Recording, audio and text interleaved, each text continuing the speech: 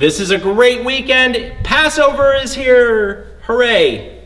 You can see how excited I am. By the way, don't forget this Friday night, we will not be having services at Congregation Beth Israel because it's the first night of Passover and we hope you have a wonderful Seder, but we will meet this Saturday and at Torah study, look at uh, Exodus chapters 12 and 13, this special reading for the first day of Passover, which tells us, teaches us, as we discussed at our Seders, or will discuss at our Seders, to eat matzah. If you remember at the Seder, we raise the matzah and say, Halachma Anya, this is the bread of affliction.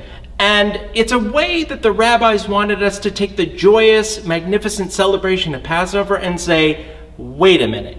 This is also about placing yourself into the story of our ancestors 3,200 years ago and understanding what the affliction that is slavery in all its forms means to humanity. So celebrate Pesach, have a great time, but please take a moment, even with your small children, to recognize that there are people in the world who are suffering, who do not have families, and if they do, they've been broken up by war.